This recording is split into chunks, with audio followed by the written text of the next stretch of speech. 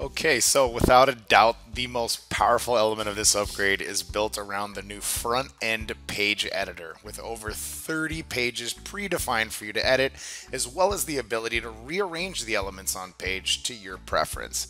Edit features within those modules, uh, over 100 widgets to choose from, and even the option to add your own widgets. Hey, you can even build new pages all together with this modular based system. No need to know any coding, simply drag, drop, save, and enjoy, making it even easier to have the site that works best for you and being able to make any changes needed along the way on the fly.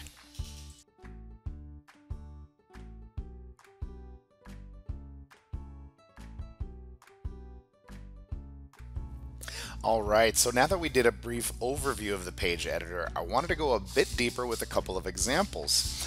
So uh, what we'll do is we'll go ahead and we'll just uh, reorganize some of our main menu navigation. We'll change some of the login detail labels. And don't worry about this edit page. It's only because I'm currently logged in. So what we'll do is let's go ahead and go to the site manager and we'll bring up the page editor and we'll click to edit the home page.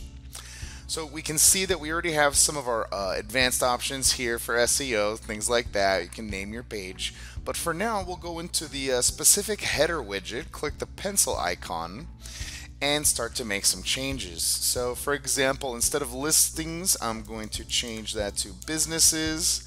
And I'm actually going to move this menu item over here.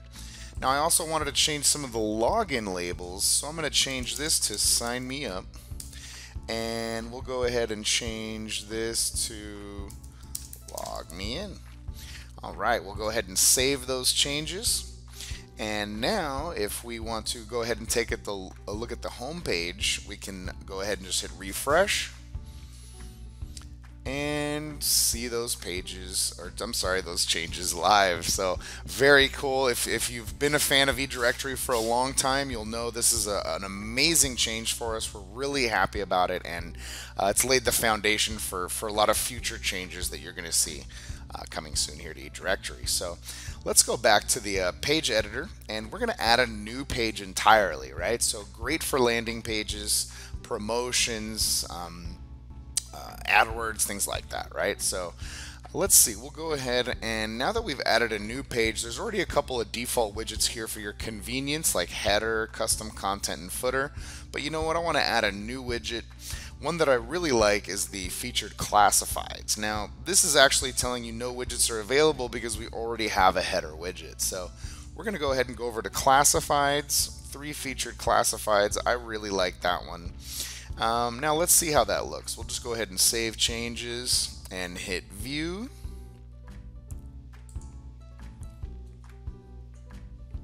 Oh, looks like the uh, classifieds ended up below the footer here. Uh, we don't want that, so let's just go ahead and, and now with this new widget-based system, you can easily move elements around on page. Uh, that way you can reorganize your layout to best suit your specific brand. Okay, so that was the new page editor. You can see it live soon on demodirectory.com. Now let's get back to some of the other design changes we've.